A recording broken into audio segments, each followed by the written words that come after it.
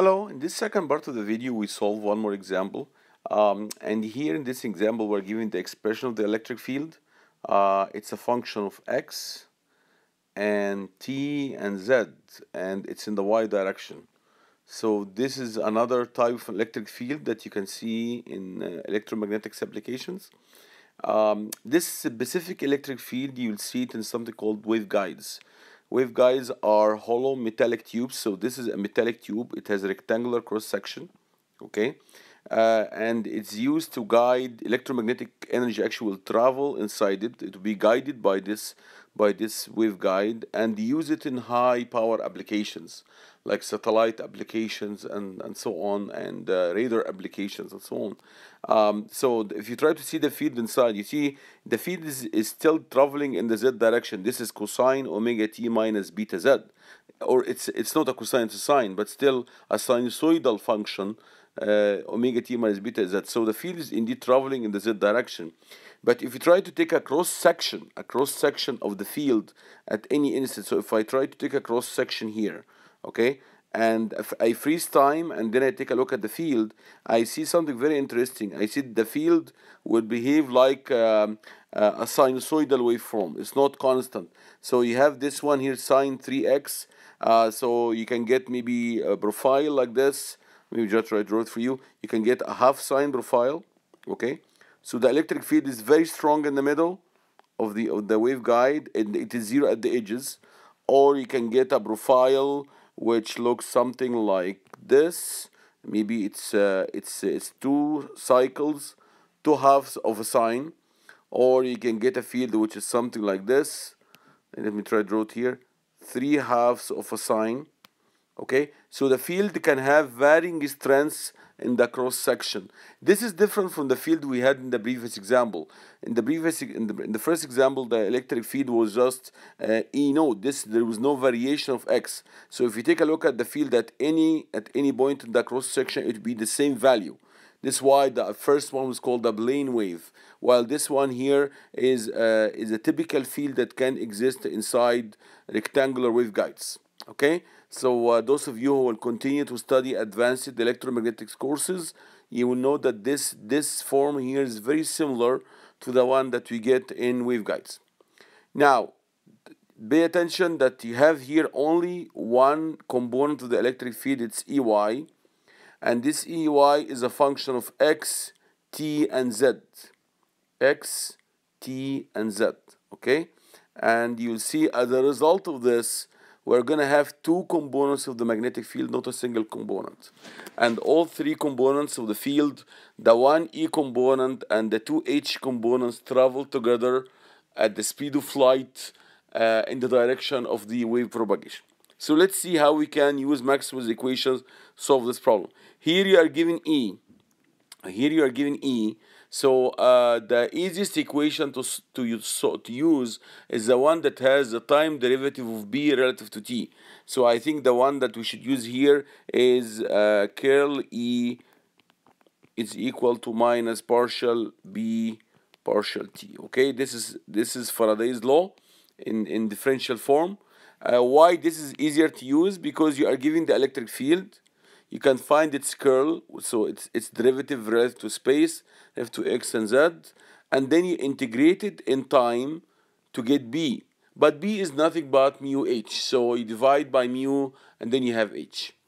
Okay, so I think this should be the plan when you get a question like this. If you are given e, you want to get h, then this is the, the, the curl e equation is the one to go.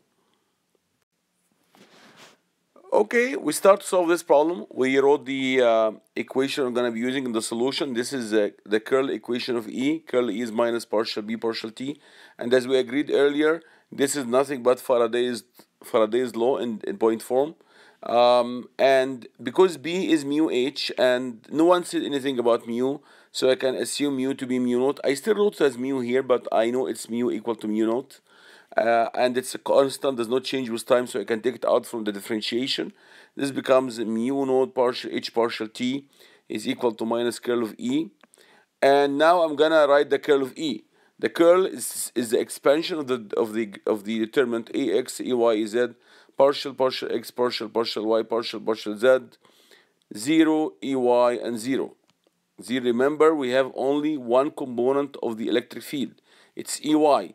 But, e, but this EY is a function of X, Z, and T. Okay, so now let's see how many components we are going to get in the magnetic field. If you remove this column and this row, you get this term which is 0 minus partial EY partial Z. EY is a function of Z. So this term will be non-zero. Okay? Now let's go here. Remove column and, and row. This is going to give you 0. Now let's come here. Remove column and row. You get the derivative of EY relative to X. But EY is also a function of X because it has the term sine 3x. So here, this is this is what's gonna come out of this uh, curl operator, a component in the x direction and a component in the z direction. I wrote, I brought for you here, or I copied the expression of the electric field here so that we can carry out the differentiation. Um, when you differentiate relative to z, the sine becomes a cosine, okay, and you multiply by minus 2. But minus 2 will cancel with the minus here, then this becomes plus. So you have here plus 2 e naught, the, the, uh, the, uh, the sine became a cosine, sine 3x is untouched. Okay? So this become cosine omega t minus 2z. Let's talk about the second part. Partial ey partial x. This is ey. If you differentiate this one relative to x, you get 3 cosine 3x. 3 cosine 3x but the sine omega t minus 2z will not be touched. And this is what we have here.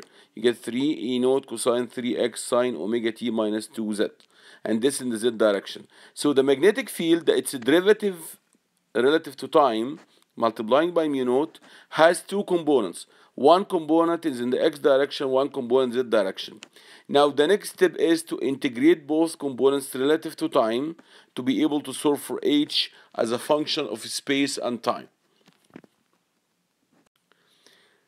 Okay, we carry out, we wrote here, I wrote it for you here one more time just to, just to be able to see how things are going to be integrated. Now let's integrate.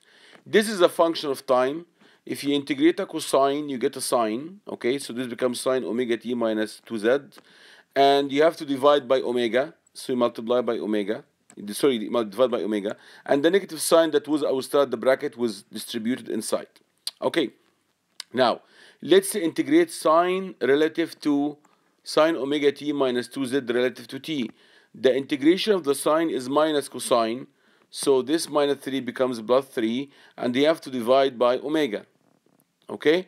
The, the cosine term here, cosine 3x is not touched, the sine 3x term here is not touched.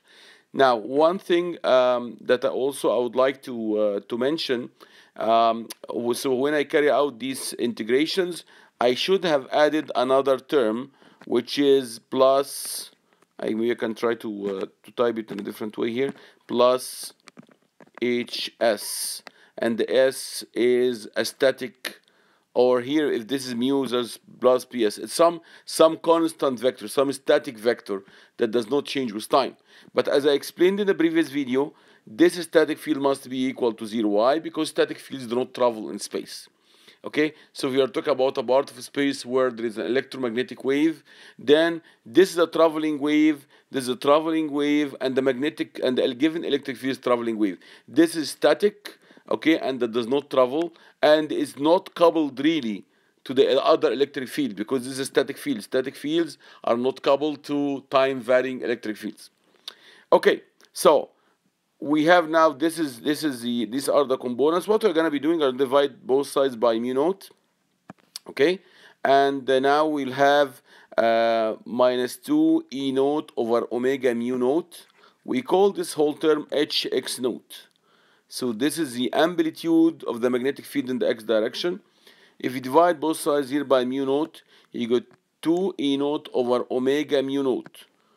2 e naught, sorry, 3 e naught over omega mu naught. We call this term hz naught. It is the amplitude of the magnetic field in the z direction. So, as you can see, one component of the electric field, because we are talking about a waveguide, it resulted in one component of the magnetic field in the x direction and one component is in the direction of, of wave propagation. The wave travels in the direction of z okay? And uh, indeed we have here and we have this component here which is still is also in the z direction. So this component here is in the z direction okay? So this is very interesting and this is uh, something that people who study waveguides will tell you that it could happen for some of the existing modes okay to, so to summarize we this is how things went. We started with an electric field component in the y direction okay? This is the one shown here. This is ey okay? And this EY gave us two magnetic field components. One of them negative X the other one in the in the direction of wave propagation. All three components are actually traveling in the direction of Z okay? Uh, notice if you take the cross product between E which in the X, in the Y direction with A, H with the negative X direction this cross product will give you the direction of wave propagation again okay EY, AY cross minus AX gives you AZ. Okay, so this wave, as again, as I said, this expression that I've shown you can exist inside uh, a waveguide. And one of the MATLAB files I, I, I share with you on Avenue is called waveguide.m. It's a MATLAB file. I encourage you to open it and to uh, play with the parameter m, the one that describes how many cycles in the sine. So uh, you have uh, you have sine mx. Okay, this is this is this describes the wave in the in the cross section. So you can make m1 or 2 or 3 or 4 and try to see an animation of how the wave is traveling inside that waveguide.